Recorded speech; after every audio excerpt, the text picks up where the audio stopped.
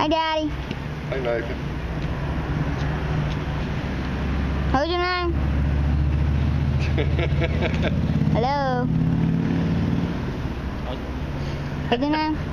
Nathan, you're cross-eyed, buddy. Huh? That's all you can't tell. I can't see what I'm doing. I'm cross-eyed because I'm looking at the camera. I set it up, I adjusted to where I, so when are you gonna start trick riding, Nathan?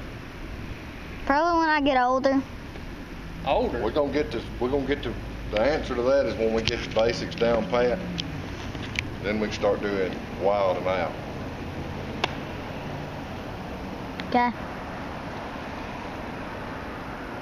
So you going to get you another helmet? Yep. You gonna put your poster in my bike, Not. put it in my uh, box, and I'll ride over there with you? Nah. You gonna keep it? Yes. Boy, you don't want it to get mixed up with my poster? Mm-mm. or just go get us something to eat. Go back toward the house where you can ride a little bit before it gets dark. No, because I want to go get a bike helmet. On. We'll go look. John's supposed to be getting some in at There's the a- Yamaha shop. There's a Chinese place right next to them. It's pretty good, and a uh, Mexican place at no at uh, Cycle Gear.